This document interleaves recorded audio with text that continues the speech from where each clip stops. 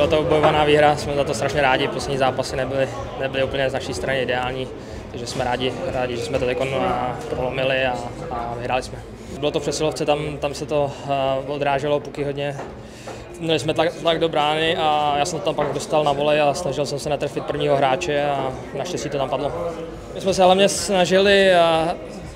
tu hru 5 na 5 zlepšit, uh, jít, jít víc do brány a, a ty přeslovky, tam nám to pak napadalo na konci, takže jsme za to rádi, ale, ale jak říkám, no, chtěli jsme se víc tlačit do brány a hrát, hrát aktivní hokej, napadat a, a dneska nám to vyšlo. Zatím to funguje a my jsme za to strašně rádi. A vždycky se na to připravujeme, že jo, Miloš Hořava nám to tam vždycky nakreslí, výborně tam napadáme s našimi útočníkama vytažený a,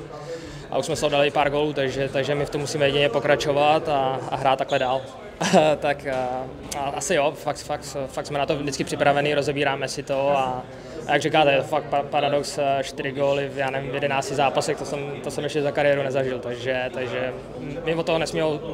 upustit a hrát takhle dál. Já jsem rád, já jsem zatím se moc ke střele zatím nedostal, takže takže dneska jsem to tam dostal krásně na volej, takže jsem to tam uklidil, no, ale, ale musíme, musím, musím možná se tlačit do té střely víc.